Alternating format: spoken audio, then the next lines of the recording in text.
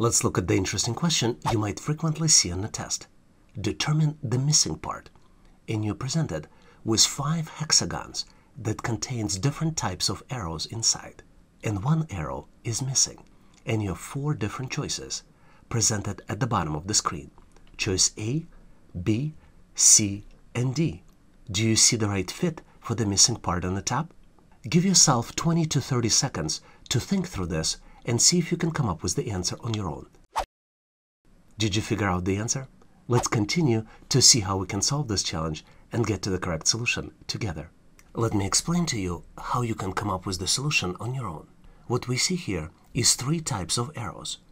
We see arrow with the straight body, another arrow with the curved body, and then we also see arrow with two arrowheads. As usual, my recommendation is always look for patterns you see that the numbers 1, 3, and 5 are straight arrows. And then we have a pattern for curved arrows. You see that the shape 2 and 4 contain curved arrows. And then you also see that the pattern of straight arrows going down in the first and in the fifth shape. Now, knowing the patterns, you can determine that the missing arrow is curved. But as you can see, there are at least two curved arrows. And typically the patterns on the test is symmetricity. So the arrow in choice C is not symmetrical to the arrow in the shape 2. This is why the correct answer here is choice A. Hopefully you've nailed this question, or in case you didn't, now you would know how to answer similar problems on the test. Let's look at the interesting question, which tests your visualization as well as analytical skills. Which of the following comes next in the sequence?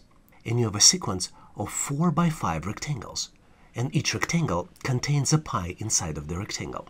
The figure 4 is missing, and there are four different choices for you to select from. Choice A, B, C, and D. Now might be a good time to pause this video to see if you can come up with the solution on your own. Did you figure out the answer? Let's continue to see how we can get to the correct solution together. As usual, my advice is always the same always look for patterns. And here the pattern is symmetricity. You see if we draw a line in the middle, you can see that the shapes, the pie pieces, are symmetrical. You see the pie in the first square, which mirrors the pie in the last square, because the pies in the second and third squares are also mirrored. Hopefully you've nailed this question and now know how to answer similar problems in the test.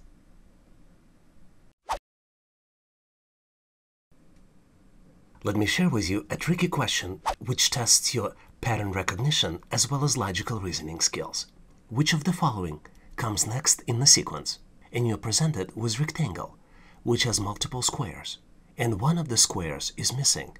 It has a question mark inside. And you have four different choices, A, B, C, and D. Take a close look to see if you can come up with the answer.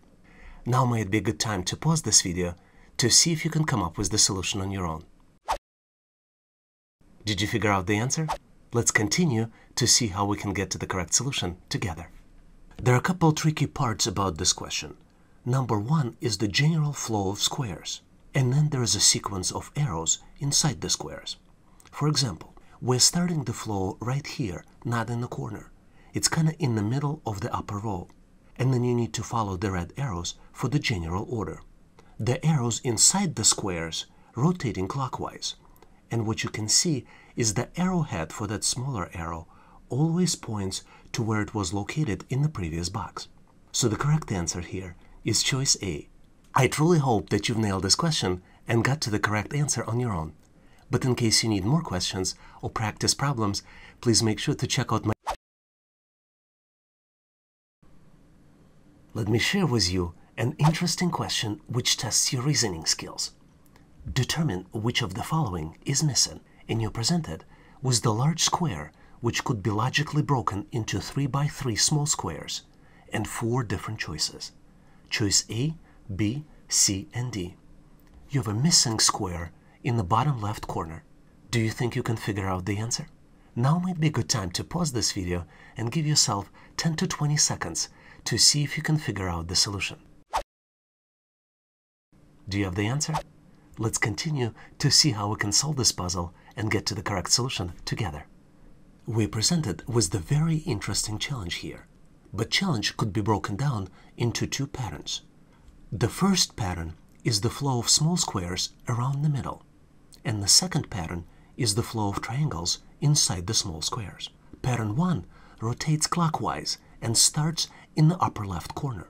You see that the pattern rotates around the cent clock, which is in the middle, and cent clock does not participate in the pattern.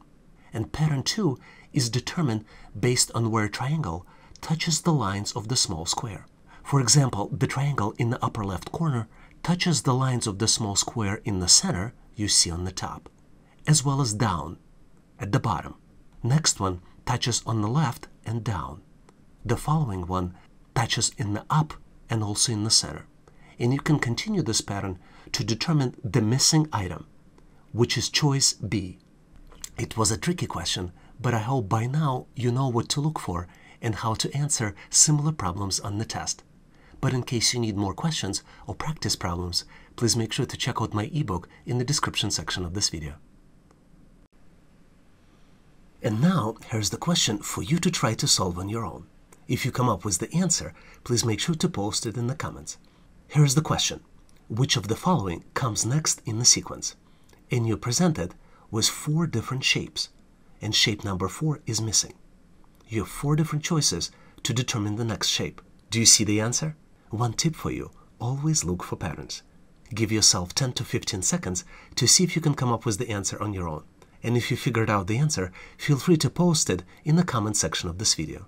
Also, please make sure to include your rationale on how you solved this challenge and I'll give you my feedback. I'm also planning to post the detailed answer to this and other challenge questions in my future videos. So make sure to subscribe and review my latest videos on the topic to learn about the answer and how to solve similar challenges on the test. Thanks for participating and good luck solving this challenge. Let me share with you a tricky question which tests your pattern recognition and visual reasoning skills.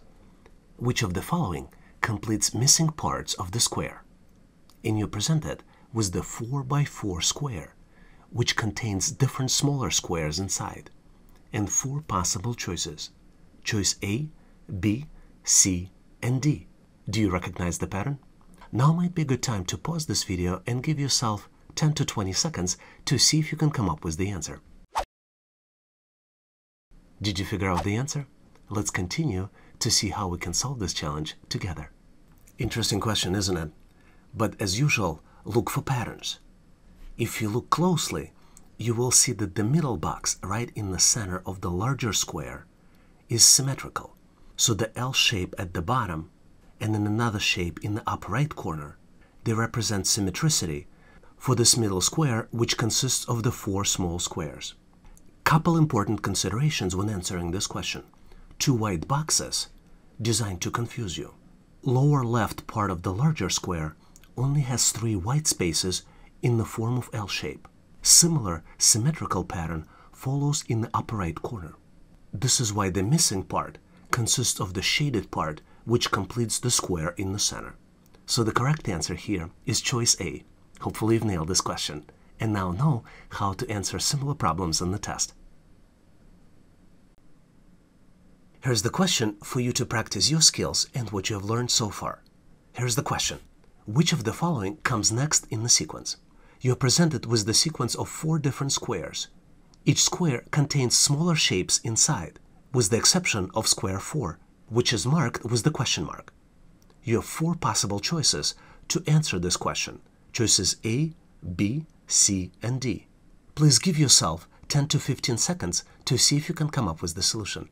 And if you figured out the answer, feel free to post it in the comment section of this video. Also, please post your rationale in the comments so I can give you my feedback.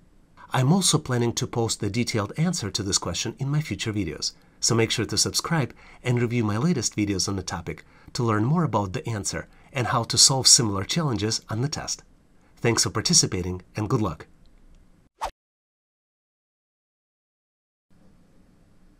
Let me share with you a tricky question from the test. Somehow, though, I have confidence that you might figure out the answer. Here's the question.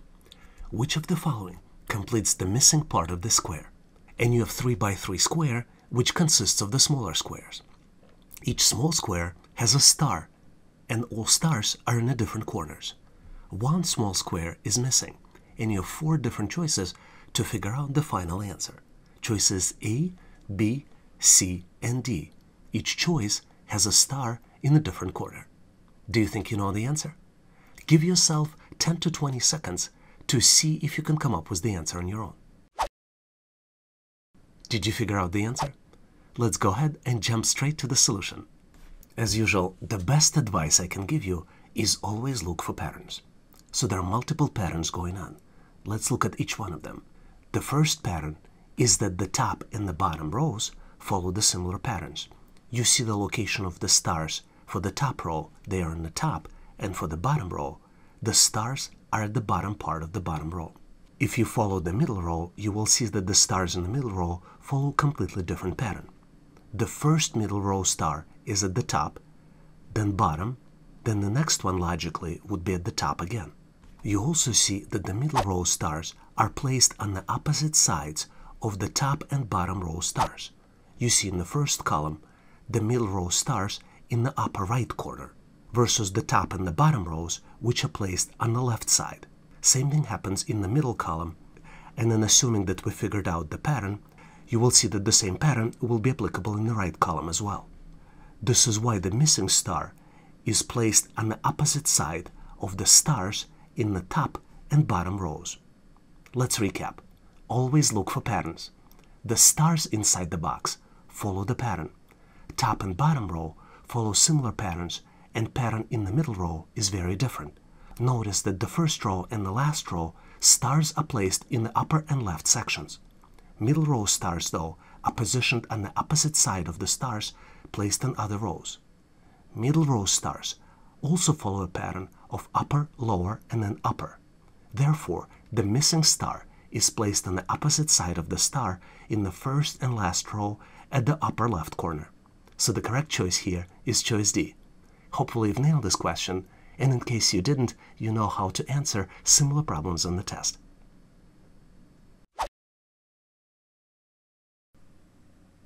Let me share with you a tricky question from the test. I have confidence, though, that you might figure out the answer. Here's the question. What figure can be visualized upon combining the two rectangles? And you have two rectangles on the left. Both of the rectangles are 7 by 3, and you have four different choices. Choice A, graph. Choice B, shape. Choice C, letter. And choice D, number. Do you see the answer? See if you can pause this video for 10 to 15 seconds to give yourself some time to figure out the answer. Did you figure out the solution?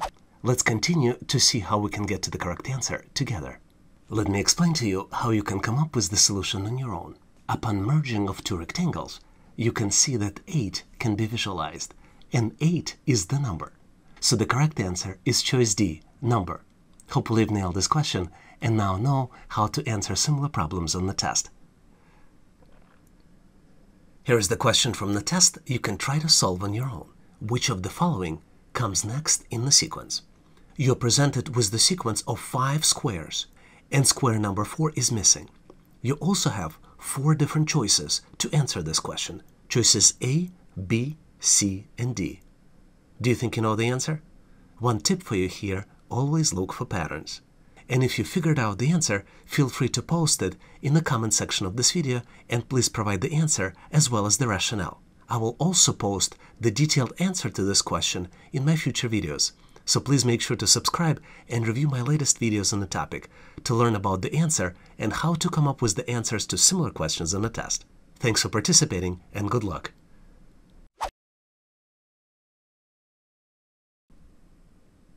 Let's look at the interesting question which tests your pattern recognition skills.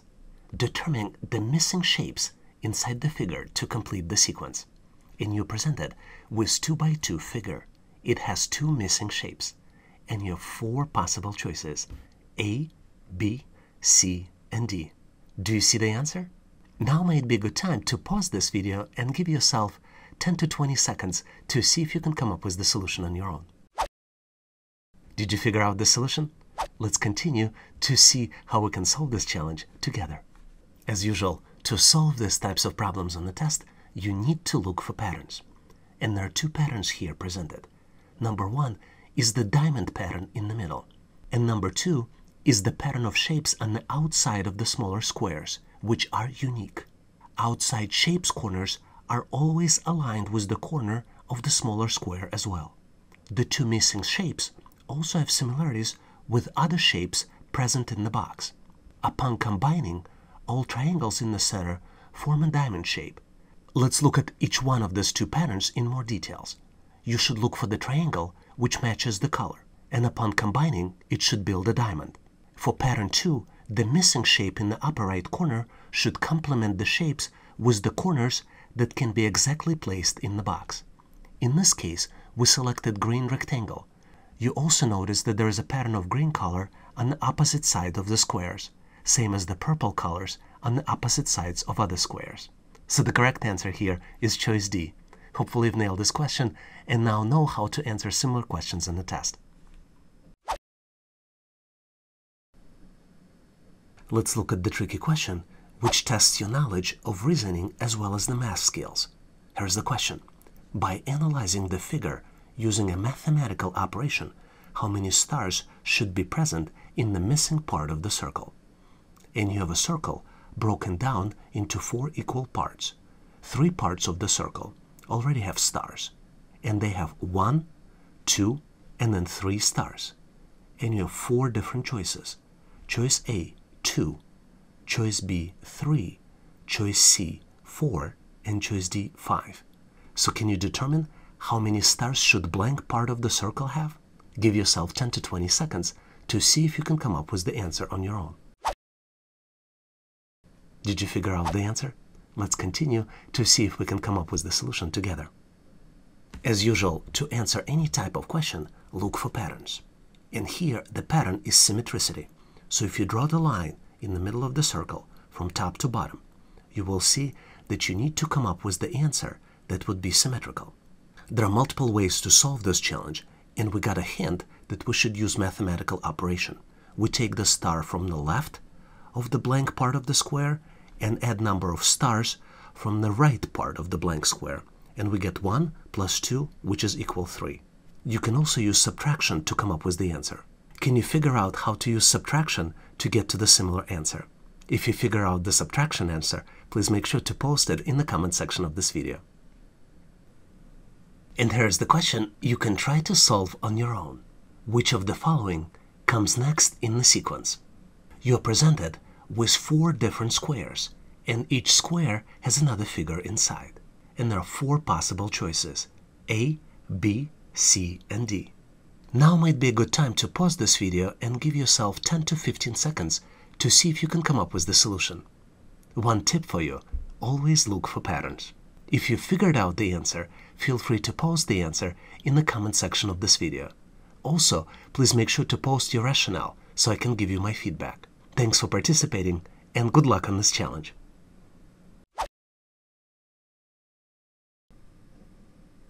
Here's an interesting question from the real test. I have confidence that you might figure out the answer. Here's the question. Choose which of the following comes next in the sequence. And you're presented with the sequence of objects. Take a close look at the sequence and try to determine which one of the choices A, B, C, or D comes next in the sequence. Now might be a good time to pause this video to see if you can come up with the solution on your own. Did you figure out the answer? Let's continue to see how we can solve this challenge and get to the solution together. When we look at the original items presented in the sequence, you see that the green circle presented in every box. Another pattern that we see here is that items are added incrementally. For example, first square contains two objects, one of which is green circle. Second square contains green circle and triangle and square. In the third box, you see that all original items are present and we have an additional yellow diamond. So we can assume safely that the item that we will pick should have a green circle in the bottom left corner, and it should have five items, and it should contain all original items present in the first three squares. This leads us to the correct answer in the choice B. Hopefully you've nailed this question and now know how to look for the patterns in the test. But in case you need more questions like this, please make sure to check out my ebook in the description section of this video.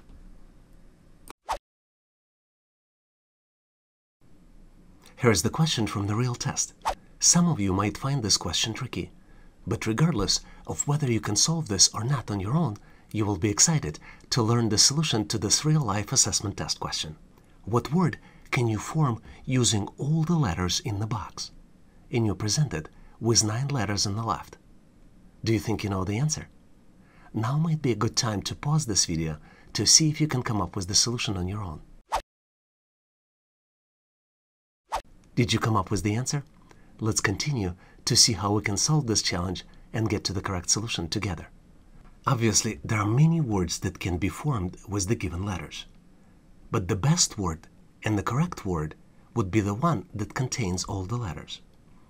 To answer this question, you need to think of the sequence. Start with the corners and explore possible answers. For example, if you start in the bottom right corner, you can follow the word nutrition N-U-T R-I-T-I-O-N.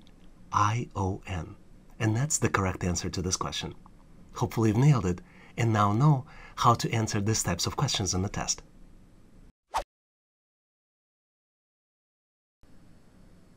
Here's the tricky question from the real test, but somehow I have a feeling that you might come up with the answer on your own.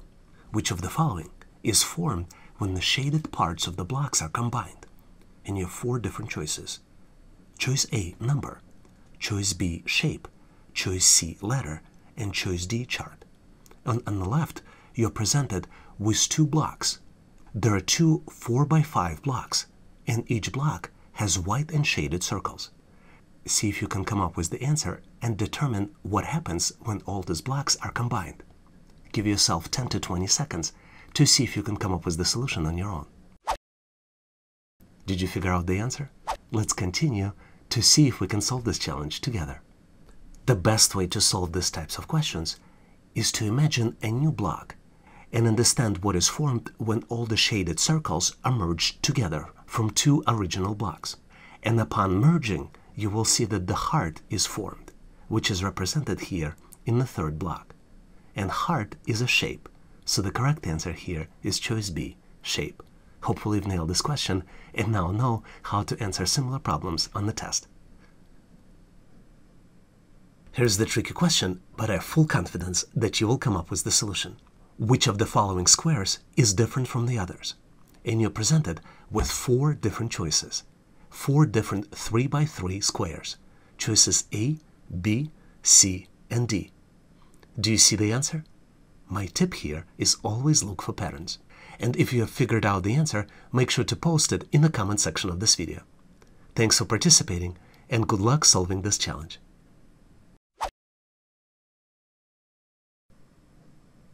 Here is the question from the real test, but somehow I have a feeling that you might come up with the answer.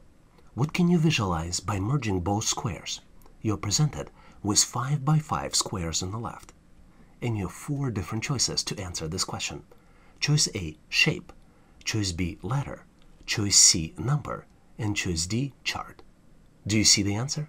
Give yourself 10 to 15 seconds, maybe pause this video to see if you can come up with the answer on your own. Did you figure out the solution? Let's see how we can solve this challenge and get to the correct solution together. Before jumping to the solution, let me give you a couple tips. If you have access, please, please use the paper or whiteboard to draw this shape and see what can you come up in the final figure. This is necessary because our brain, at least mine, is not very well designed to visualize particular figures. So maybe you are different, or maybe you know better solutions. In this case, if you have ability to visualize, you're very lucky, because most of the people don't have this ability. They should be using paper or whiteboard to get to the certain answer. Another tip here is look out for trick parts that might be included into the final shape upon merging, and they're created by test providers to confuse you. As you can see, upon merging both squares on the top, you see the final square at the bottom, and you see that there is a square in the middle, as well as two shaded small squares in the upper left corner and in the bottom right corner. So the correct answer here is choice A, shape, because square is the shape. But make sure to use those tips I shared with you earlier to increase your chances of answering these types of questions correctly on the test. And now, here's the question from the real test you can try to solve on your own. I have full confidence, though, that you can solve this challenge. Which of the following is different from the other shapes? And you're presented with four different rounded squares. Each one has a shape inside. So do you see the answer? Can you figure out which one is different? Give yourself 10 to 15 seconds to see if you can come up with the answer on your own. And also, my tip to you, always look for patterns. And if you have figured out the answer, feel free to post it in the comment section of this video, as well as your rationale on how to solve it. This would allow me to give you my feedback. Thanks for participating, and good luck solving this challenge.